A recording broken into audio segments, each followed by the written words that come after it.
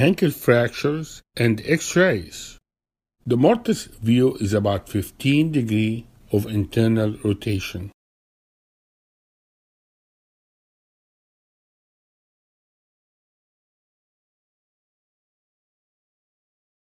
The medial clear space, it should be 4 to 5 millimeter or less, and it should be equal to the superior clear space, which is between the talus and the distal tibia on the mortise view.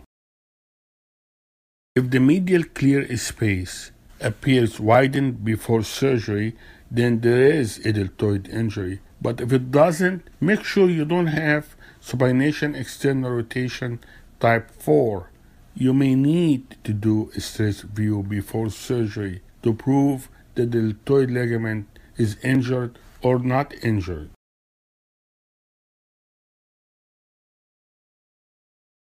The tibiofibular clear space it should be less than 6 millimeter on mortise view and it is the distance between the medial border of the fibula and the tibia incisura.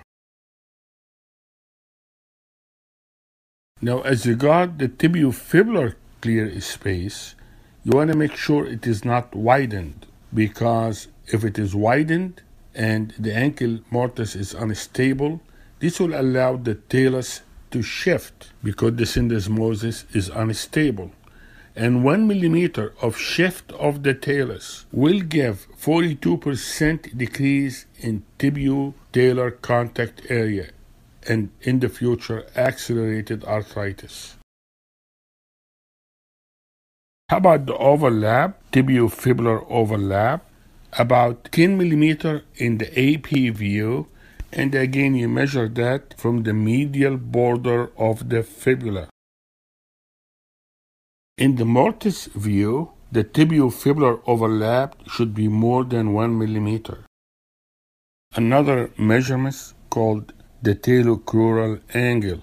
I don't use it, I don't think it's very valuable except an exam question, but the lateral malleolus is longer than the medial malleolus. But if the fibula is short, I can rely on two other X-ray measurements that can help me. Number one is the Shenton line of the ankle. The subchondral bone of the tibia and fibula should form a continuous line around the talus. So if the fibula is short, the spike of the fibula will be too proximal. If the fibula is long, the spike of the fibula will be too distal. Always look for that broken line from the lateral part of the articular surface of the talus to the distal fibula. It is the Shenton line. The other findings that will tell you if the fibula is short or not is the dime test. So in general, look for the sprung mortise. Look for the spike of the fibula to proximal. Look for the broken Shenton line look for the dime test and also look for medial clear space widening. The joint surface have to be parallel and no talar tilt. So you're going to get a lateral x-ray and you're going to see in the lateral x-ray if you have a posterior malleolar fracture, if you have any talus subluxation, if you have any other associated injuries from the talus or the calcaneus. And the most important thing on an ankle lateral view that you will see the type of a fracture.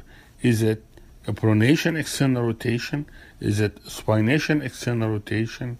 And you will see that from the direction of the fracture. Or is the fracture comminuted? So you can say this is pronation abduction injury.